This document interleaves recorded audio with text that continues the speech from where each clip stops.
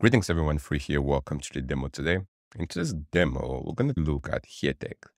Heartex is a data labeling uh, software designed to help teams manage training data sets in one place. The platform and the tool helps teams and organizations in the AI ML space add management annotation capabilities to facilitate collaborative data labeling, quality assurance, and analytics across uh, different data sets, be it structured data, unstructured data, to achieve accurate and competitive uh, AI and ML model creation. Heartex is the organization behind the open source platform called Label Studio.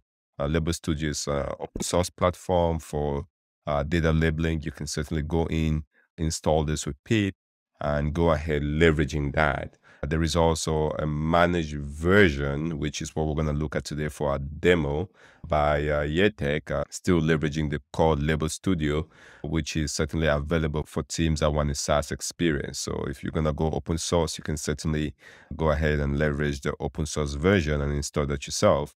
But if you want the SaaS experience, uh, you can certainly go in and leverage uh, the Heartex uh, SaaS experience. That said, let's jump into the demo once we log in, it does bring us to an environment that looks uh, similar to this. This is my account. You can invite folks. You can see billing and some other configurations. Now let's go into projects. Projects is where you would be doing work. So here, let's create a project to call this a DICOM, call it X-ray. So we want to uh, get some medical imaging. In the real world, this will be coming from your uh, provider hospital networks, uh, your PAC systems, and you'll be getting that data hopefully de-anonymized so you can uh, do some labeling against that. Maybe the nurses are going to be annotating the documents. But here we're going to walk through that workflow, what it looks like. So DICOM X-ray annotation for DICOM images or X-ray images. Save this. Now it's going to ask us to import the data sets we want folks to to label or to annotate. Now you might be asking, but through how are you going to get DICOM images that are compliant? And I can't just afford to grab few random people's DICOM images. This is where DALL-E comes into play. So here we can come in, let's do X-ray images, or we can do DICOM images. We know DALL-E generates uh, synthetic data. So just like that, we have four images generated by DALL-E. Go ahead, download these four images. And the goal for doing this is to use for our demo. So those images are downloaded. I did that a second or so ago. We're going to come in here and upload that image. Right. So our images are uploading. It takes a few seconds. Go ahead and import that. We now have four images without labels sitting within an environment. I create a label task, a task to label these images. Cancel on this. You can see the actions here that you can perform. Select that. There are four tasks. You can delete the task, you can delete reviews. But what we want is to create the task so that uh, these images can be labeled. So let's go to setup. In here, you can put in the configuration, but we're going to grab this from a template. So what are the types of labeling we want uh, to do on our images? We might want computer vision, a very popular one. And this is what we're going to use because our data set is images. We might be doing segmentation, semantic segmentation to identify objects semantic segmentation with mask, key point labeling, visual question and answer, inventory tracking, optical character recognition, or image captioning. a whole lot of options for, for this. If we're doing natural language processing, you can also identify the types of annotation or the types of labeling you might want the teams to do. Speech to speech processing, conversational AI, ranking and scoring to test for the efficiency of models, uh, here, there's a structured data parsing, time series analysis, as well as video object tagging. So watching a video and tagging objects within that video. Let's go back to image classification is what we're going to use.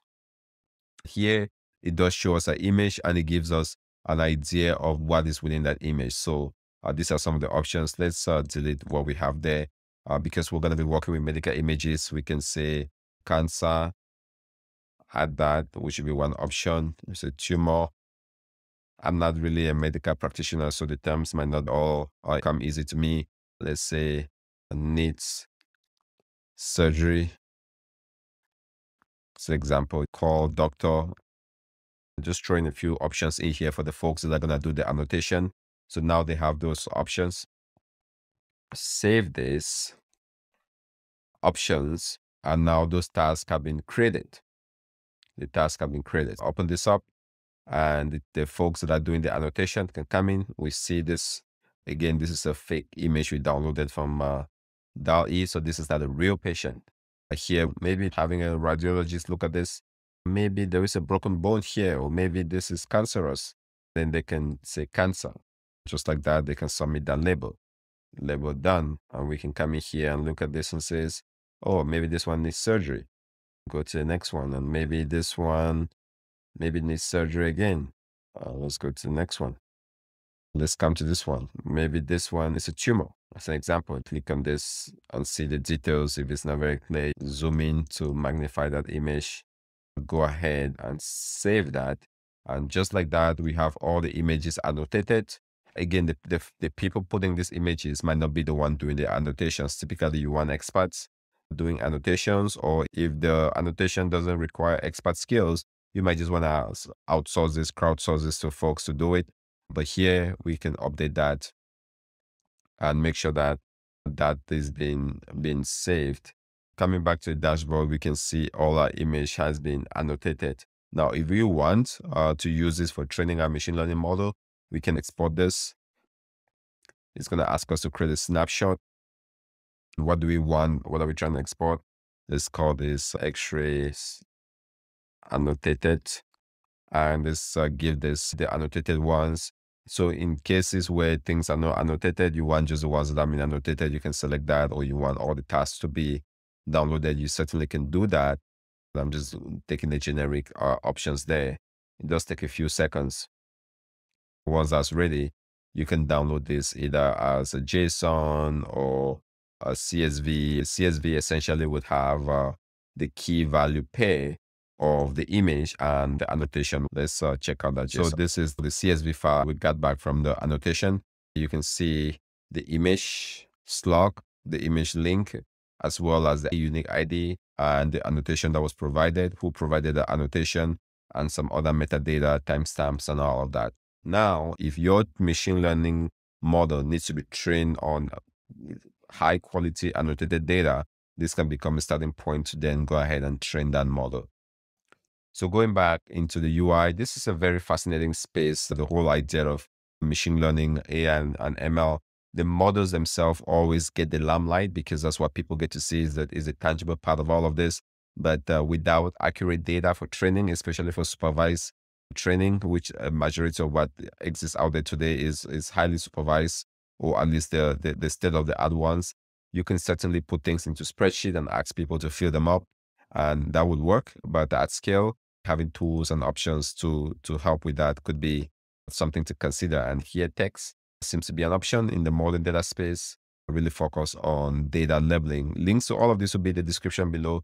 They do seem to have an API. I'm guessing you can invoke the API to get the labeled data or to label data. But guys, uh, there you have it. Some very fascinating options. Hopefully this was helpful. Just highlighting tools like this not in a space that gets a lot of, uh, in my opinion, a lot of attention and, and the limelight, but definitely worth knowing something that could scratch the itch for AI ML teams. So thanks for watching. As always, like this, share this with somebody that might get value out of it. Uh, this has been Fru. I'll see you in our next demo.